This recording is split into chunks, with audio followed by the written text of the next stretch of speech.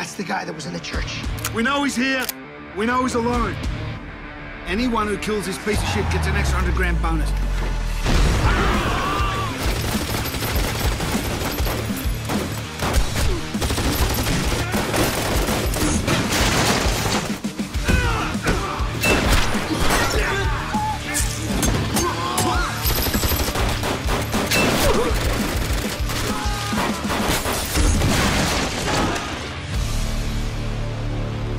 Some things we can't wash clean now, can we?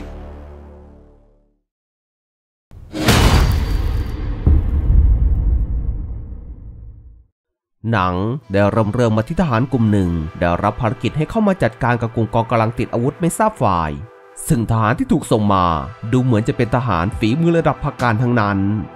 เมื่อมาถึงตำแหน่ง ซึ่งเป็นแหล่งกบดานของกลุ่มติดอาวุธทหารที่ถูกส่งมา ก็เปิดฉากยิงเข้าไปจัดการทันที ปฏิบัติการในครั้งนี้ ใช้เวลาไม่นานมากนัก ก็สามารถจัดการถล่มค่ายของกลุ่มติดอาวุธได้สำเร็จ แต่ดูเหมือนว่าทหารที่มาจะไม่ได้มาจากสังกัดไหน พวกเขาทั้งหมดเป็นทหารรับจ้าง มาทำหน้าที่ให้กับรัฐบาลบางรัฐบาลที่ไม่สามารถเข้ามาทำงานเองได้ และพวกเขาก็ไม่สนใจด้วยว่าจะฆ่าสักกี่คน ขอแค่ได้รับค่าจ้าง ซึ่งดูเหมือนว่ารายชื่อค่าหัวที่พวกเขาได้มาจะยังเหลืออีกเยอะ พวกเขาทั้งหมดได้ออกเดินทางกันต่อ เพื่อจัดการกับบุคคลที่มีอยู่ในรายชื่อ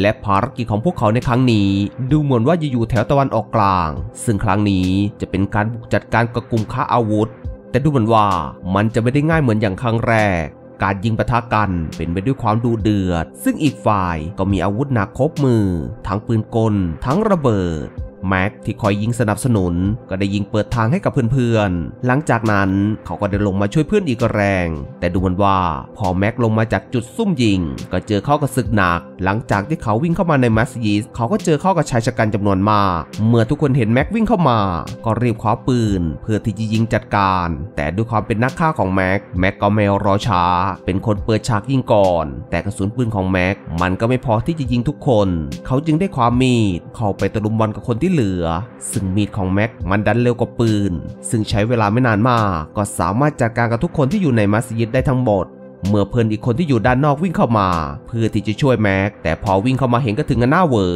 ที่เห็นแม็กเพียงคนเดียว สามารถสังหารคนพร้อมกันในคราวเดียว ได้มากถึง 13 คน ซึ่งทุกคนก็ดูเหมือนจะไม่สงสัยในเรื่องนี้เพราะแม็กเขาเป็นมือหนึ่งในทีมอยู่แล้ว จนได้รับฉายาข้าวไม่เลือกหน้า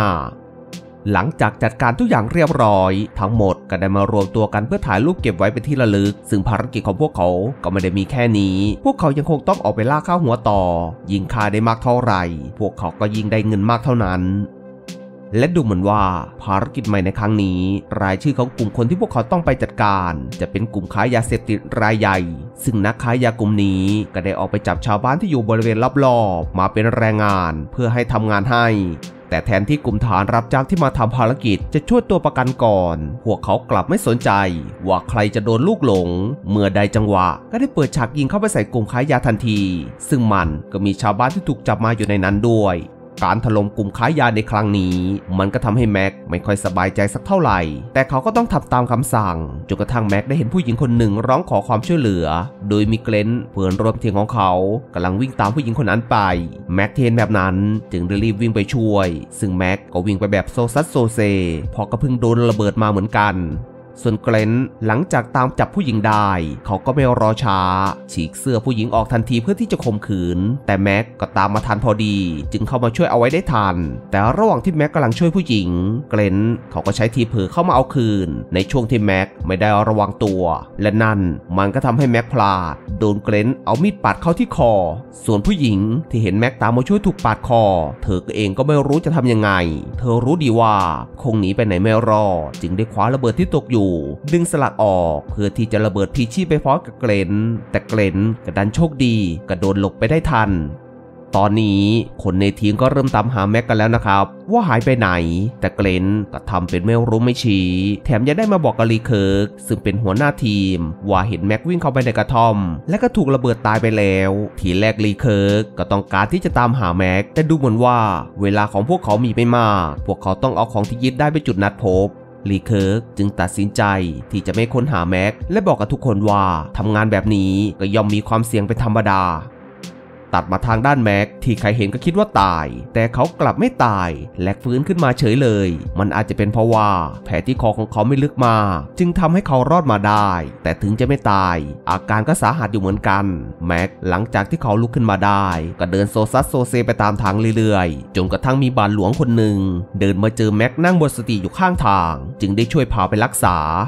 ซึ่งแม็กก็หมดสติไปหลายวันกว่าจะฟื้นขึ้นมา โดยที่แม็กก็เกือบที่จะไม่รอด เพราะติดเชื้อในกระแสเลือด หมอได้ทำแผลที่คอให้ เพราะก็ให้ยาฆ่าเชื้อ ซึ่งแม็กก็รอดมาได้อย่างปาฏิหาริย์บาลหลวงอีคาลัสดูแลแม็กเป็นอย่างดี ให้ทั้งที่พักและก็อาหาร โดยบาลหลวงขอแค่ให้แม็กช่วยทำความสะอาดโบสถ์ให้กับเขาก็พอ แม็กใช้ชีวิตอยู่ที่เขตแพริสไปเรื่อยๆ ได้ช่วยงานในโบสถ์บ้าง แต่ตั้งแต่แม็กฟื้นขึ้นมา แม็กก็ไม่เคยเอ่ยปากพูดเลยสักคำ แต่ทุกคนก็คิดว่าอาจจะเป็นเพราะแผลที่คอของแม็กจึงทำให้แม็กพูดไม่ได้ แต่ระหว่างที่อยู่โบสถ์บาทหลวงก็ได้เอาชุดคลุมมาให้แม็กใส่ เพราะหน้าของแม็กก็โหด จึงกลัวว่าชาวบ้านจะกลัว ซึ่งมันก็ทำให้บางคนคิดว่าแม็กเป็นนักบวช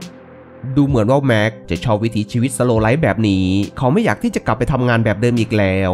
แต่ความสุขมันก็อยู่ได้ไม่นาน เมื่อมีชายสองคน ซึ่งดูเหมือนจะเป็นคนไม่ดี มาตามจับผู้หญิงคนหนึ่งในหมู่บ้าน ซึ่งเธอก็ได้วิ่งเข้ามาในโบสถ์เพื่อขอความช่วยเหลือจากบาทหลวง นั่นมันก็ทำให้ทั้งสองคนได้เจอกับแม็ก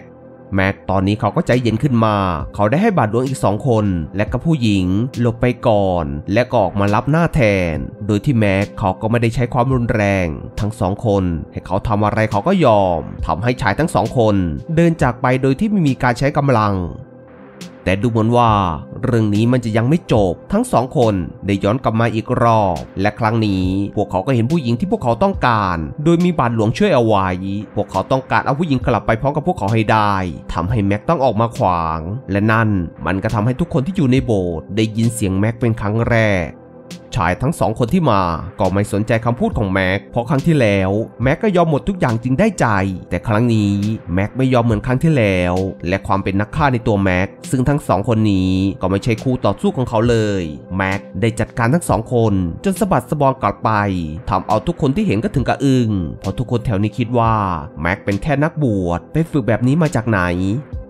แต่ถึงจะไล่ทั้งสองคนไปได้ แต่นี่มันกลับสร้างปัญหาหนักกว่าเดิม เพราะสองคนนั้นดันเป็นลูกน้องของลีเคิร์กหัวหน้าเก่าของแม็ก ซึ่งตอนนี้ก็ได้ผันตัวจากทหารรับจ้าง มาเป็นนักค้ายาซะเอง เพราะได้เงินเยอะกว่ามาก ลูกน้องของลีเคิร์กได้เจอรูปที่แม็กเคยถ่ายร่วมกับคนอื่นๆ และมั่นใจว่าคนที่กระทืบเขานั่นคือแม็กแน่ๆ ซึ่งมันก็ทำให้คนในทีมเริ่มกังวล เพราะถ้าเป็นแม็กจริง ๆ อาจสร้างปัญหากับพวกเขาได้ ดังนั้นลีเคิร์กกับพวกจึงได้เดินทางไปที่โบสถ์และก็ได้เจอเข้ากับแม็กจริง ๆ เมื่อเห็นว่าแม็กยังไม่ตาย จึงได้นัดคุยกับแม็กเพื่อที่จะยื่นข้อเสนอให้แต่แม็กเขาก็ไม่อยากจะกลับไปทำงานแบบนั้นอีกแล้ว เขาอยากจะใช้ชีวิตแบบธรรมดาธรรมดาดูบ้าง แม็กจึงได้ยื่นข้อเสนอไปว่า เขาจะไม่สร้างปัญหาให้กับใคร และเขาจะเป็นคนออกไปจากหมู่บ้านแห่งนี้เอง โดยมีข้อแม้ว่า อย่าทำอะไรใครที่โบสถ์ซึ่งลีเคิร์กก็จำใจรับข้อเสนอ แต่หลังจากที่แม็กกลับไปที่โบสถ์ลีเคิร์กกับพวก ดันไม่ทำตามข้อตกลง ได้ยกพวกมาที่โบสถ์เพื่อที่จะจัดการกับแม็กและทำลายโบสถ์ทิ้ง โดยที่ลีเคิร์กกับพวก ได้จับผู้หญิงมาด้วยเพื่อเป็นตัวประกันทำให้แม็กไม่กล้าทำอะไร แม็กโดนรุมทำลาย และก็ถูกจับขึ้นไปขึงบนไม้กางเขน หลังจากนั้นทั้งหมดก็ออกมาข้างนอก และก็รัวปืนกลเข้าไปใส่ และก็ตามด้วยปืนยิงระเบิดแต่ลีเคิร์กกับพวกถือว่าพลาดมากที่ไม่ฆ่าแม็กไปเลย แม็กหลุดออกมาจากไม้กางเขนได้ และออกจากโบสถ์ได้ทัน บาทหลวงอิลิอัสและบาทหลวงหนุ่มดิอาโก ได้เข้ามาช่วยแม็กและก็พาไปซ่อนตัวในป่า ตอนนี้แม็กเขาต้องพักรักษาตัว และก็ฝึกร่างกาย เขาจะไม่หนีอีกต่อไป ครั้งนี้จะต้องเป็นฝ่ายเอาคืนบ้าง แล้วระหว่างที่พักรักษาตัวก็จะมีบาทหลวงทั้งสองคนคอยดูแลตลอดจนกระทั่งวันหนึ่งขณะที่แม็กไม่อยู่ในกระท่อมเพราะออกไปวิ่ง ลูกน้องของลีเคิร์กก็ไม่รู้ว่าโผล่มาจากไหน มาเจอเข้ากับบาทหลวงอิลาสที่อยู่ในกระท่อมพอดี ทั้งสองคนที่ไม่ชอบบาทหลวงอยู่แล้ว จึงได้ยิงทิ้งทันที แม็กที่กลับมาเห็นศพบาทหลวงก็เสียใจเป็นอย่างมาก ที่เขาไม่สามารถปกป้องบาทหลวงเอาไว้ได้ ตอนนี้แม็กเขาก็ต้องการทวงคืนความยุติธรรม แม็กพร้อมแล้วที่จะออกไปถล่มพวกลีเคิร์กแม็กเริ่มต้นด้วยสมุนลูกกระจอกของลีเคิร์กที่ชอบไปนั่งดื่มกันที่บาร์ซึ่งคนเหล่านี้แม็กก็สามารถจัดการได้โดยง่าย หลังจากจัดการเสร็จก็ได้ดื่มเหล้าไปแก้วหนึ่ง และก็เดินออกไปแบบนิ่งๆ ทางด้านลีเคิร์กหลังจากได้ข่าวว่าลูกน้องของตัวเองถูกฆ่าจำนวนมาก เขาก็รู้ทันทีว่าฝีมือระดับนี้จะต้องเป็นแม็กแน่ๆ เขาจึงได้สั่งให้ทุกคนออกตามล่า ส่วนแม็กยังคงไล่จัดการลูกน้องของลีเคิร์กไปทีละกลุ่ม พร้อมกับวางกับดักเอาไว้ด้วย เมื่อลีเคิร์กกับพวกมาตรวจสอบพื้นที่ ซึ่งแม็กรู้ดีว่าแม็กพายซึ่งอยู่ในทีมหลักของลีเคิร์กเธอชอบเก็บเครื่องประดับของคนตาย กลับไปเป็นของสะสม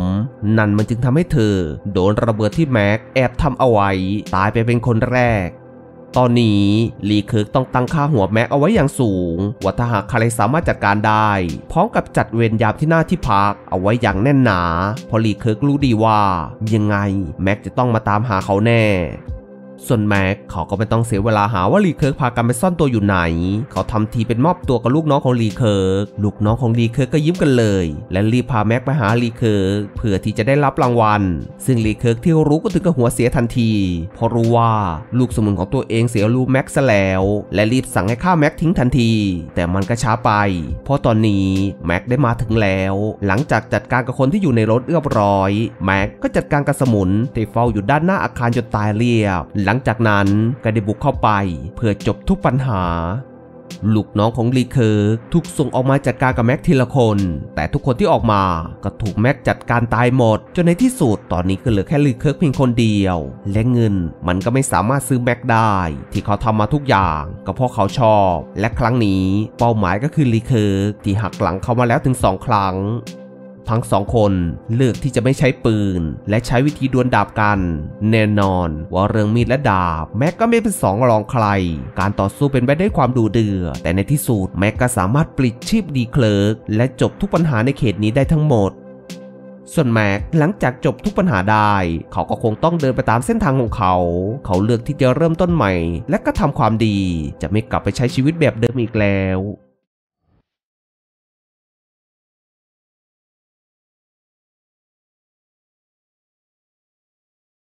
เป็นยังไงกันบ้างครับ ถ้าหากว่าผมสปอยผิดพลาดประการใด ก็ต้องขออภัยไว้ณที่นี้เลยละกัน และเพื่อเป็นกำลังใจก็อย่าลืมกดไลค์ กดแชร์ กดคอมเมนต์ และใครที่ยังไม่ได้กดติดตาม ก็อย่าลืมกดติดตาม ทั้งช่องทาง YouTube และก็ Facebook กันด้วย ช่วงนี้ก็ดูแลสุขภาพกันดีๆนะครับ ส่วนวันนี้ก็ต้องขอลากันไปก่อน แล้วเจอกันใหม่อีกทีคลิปหน้าบ๊ายบาย สวัสดีครับ